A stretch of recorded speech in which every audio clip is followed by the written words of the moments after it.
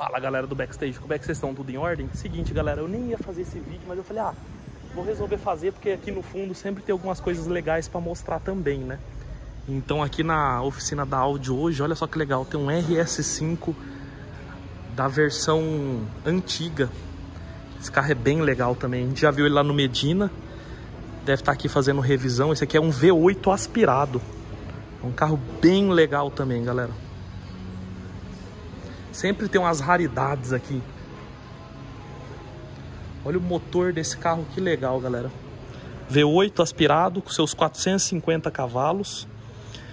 Esse motor foi utilizado no, no R8 V10 também. Então você pode ver, ele tem dois filtros de ar, ó. Bem legal. Fibra de carbono. É um carro bem legal. A gente teve o RS5 da geração mais nova, mas esse aqui também é um clássico, viu? Ele tem um aerofólio que levanta. Carro bem legal, dois escapes, um de cada lado, do, do tipo oval. Né? Esse aqui, como você pode ver no chassi do vidro, ó, é um carro 2011. Por dentro, galera, vou mostrar pra vocês. Ele ainda leva a concepção antiga, ele parece o A4 antigo por dentro, né? O A5 antigo, ó, ponteiro de palito mas você vê que ele tem umas modernidades acima da época, tipo fibra de carbono em vários lugares do painel, sistema de som assinado pela Bang Olufsen, que a gente vê justamente pelo alto-falante aqui, pelos tweeters ali em cima também, a Grafia RS5, né? esse carro aí tá com qual km? Tá com 60 e poucos mil km. E é interessante como que a Audi aqui, ela põe plástico, tudo para os clientes né, para não ter contato assim, né? Forro de teto preto, a inscrição RS5 no volante, aletas prateadas, bem legal. Retrovisor externo com anti-ofuscante. Esse carro aqui é bem raro, viu, galera? Tá difícil de encontrar esse tipo de carro para vender hoje, essa, essa geração do RS5, tá? Ali a gente tem um A5 também com kit S-Line. Do facelift anterior ao que a gente viu no vídeo anterior, que esse aqui é um facelift antes, né? Então ele tem algumas coisas de diferente, né? Se você olhar aqui no fundo da loja, tem outras preciosidades também. A gente tem aqui essa Q3 nessa cor bem legal. Cara, eu gosto de ver carro com cores vivas, né? Então você olha aqui essa Q3 nesse azul, se eu não me engano o nome dessa cor é azul turbo e é exclusivo dessa versão que é a versão S-Line, tá? Então um carro completo, farol de LED, kit S-Line 2021 soleira iluminada, tudo de alcântara por dentro, né? Carro bem bacana aí, carregador por indução. Painel digital, essa unidade aqui é 0 km, está com 39 quilômetros rodados só. Forro preto. Faltou um sonzinho assinado só, que eu acho que é opcional, se eu não me engano. Ou às vezes é de série nas versões topo de linha. Aqui tem um A5 esse aqui era um A5 que eu queria mostrar para vocês, porque ele é um A5 2021, né? Vocês podem ver que ele já tem a lanterna nova.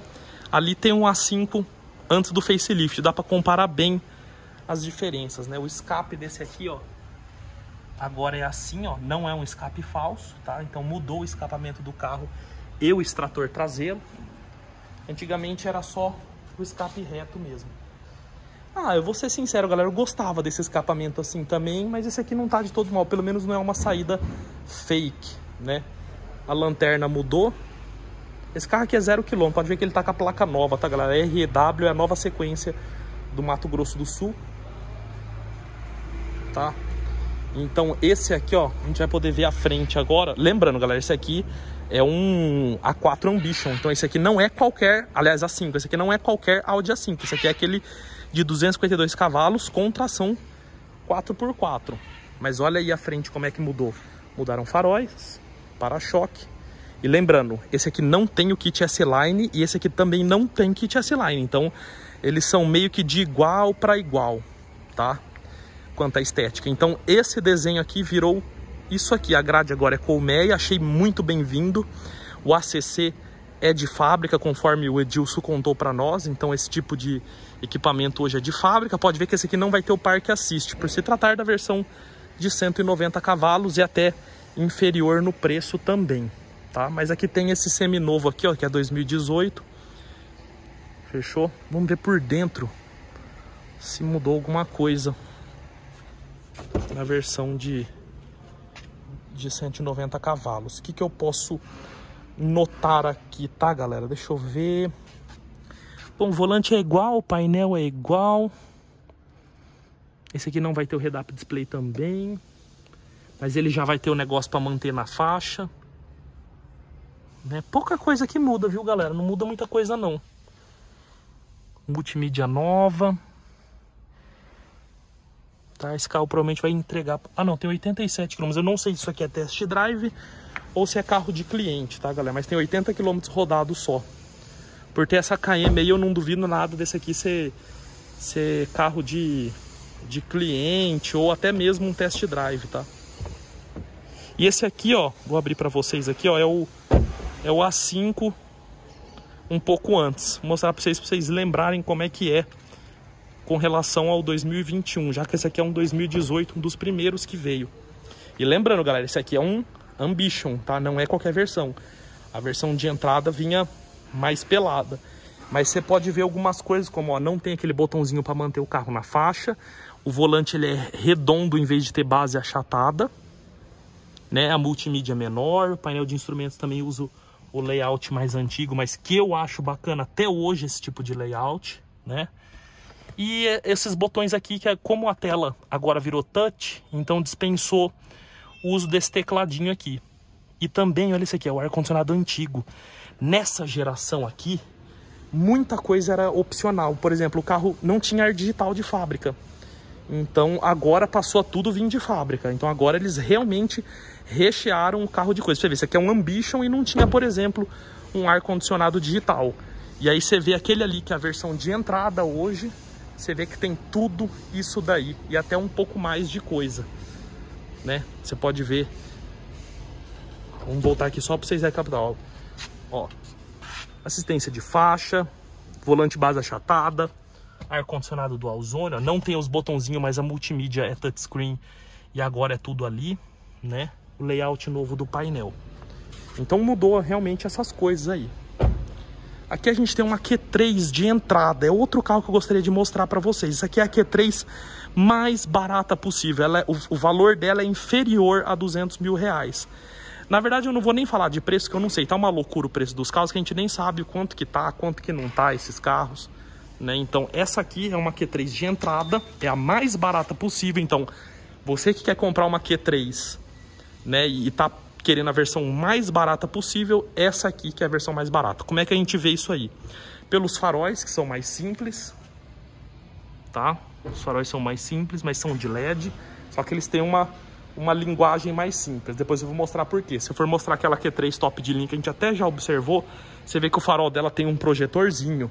É que esse aqui usa o Eco LED, é um LED mais barato, mas ainda assim é de LED. As rodinhas também são menores, né? Se você parar para observar, isso aqui acho que é até aro 17, ó. Aro 17, 215, tá? Mas não acho uma roda feia não, não é, não é uma roda feia de todo mal, tá? É uma roda que ela ficou pequena no carro apenas, tá?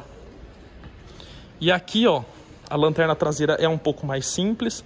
Acredito eu que essa lanterna aqui até é de querosene, se pá, tá? Então a lanterna traseira é um pouquinho mais simples, o farol dianteiro é mais simples, as rodas mais simples, tá?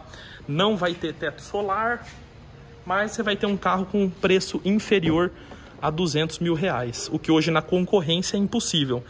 Se não me engano, uma X1 de entrada é 240 mil, é, a própria GLA nova também tá uma fortuna, algo em torno de 250, GLB 260 mil, tudo com motor 1.3, tá?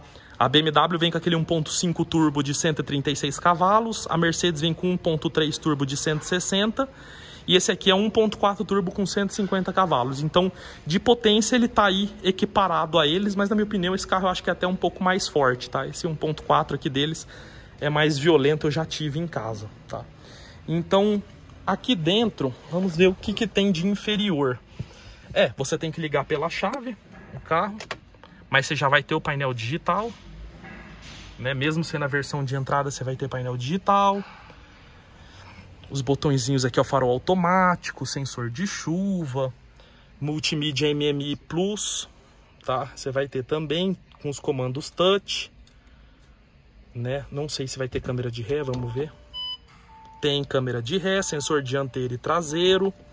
Você vai perder, no caso, o ar-condicionado digital, de duas zonas, que esse aqui não vai ter. É, carregador de indução também não vai ter, mas você vai ter USB do tipo C normal, freio de mão eletrônico, auto hold. Porta objetos aqui. Porta-luvas de veludo. Tá, vamos... Farol baixo. Quero mostrar pra vocês como é que é o conjunto ótico desse carro aqui, ó. Liguei pisca-alerta e liguei o farol pra vocês verem. Então vocês podem ver que o farol ele é de LED, só que é um LED mais barato, ó, tá vendo? E a luz do pisca-pisca é de querosene. Aqui atrás, vocês podem ver que também é de querosene a luz, a, a placa é de LED, mas o resto é querosene, tá?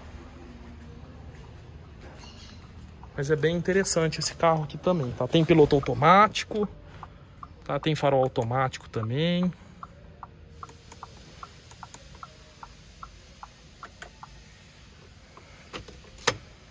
Aí a chave do carro. Né? Bancos em couro, porque às vezes até banco de couro não vem, dependendo do carro.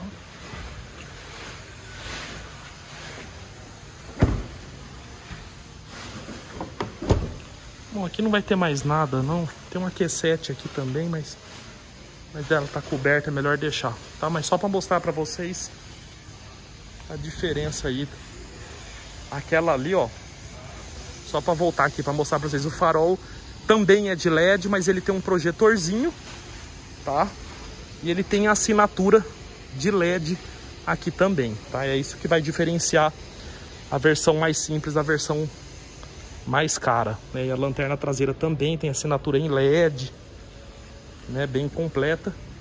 E por dentro por dentro não, não, não acho que muda tanta coisa assim não, vai ser ar digital, né? Um acabamento mais de, de preto black piano, né? Forro de teto preto, teto solar. Ah, claro, os bancos são melhores mesmo.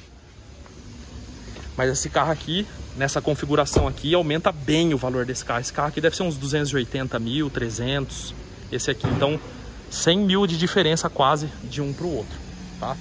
Bom, galera, espero que vocês tenham gostado do vídeo. Lembrando que aqui no canal a gente tem vídeo três vezes por dia, meio-dia, 5 horas da tarde, 8 horas da noite, horário de Brasília. Espero que vocês tenham gostado do vídeo e aguardo vocês para o próximo vídeo do canal. Beleza, galera? Falou!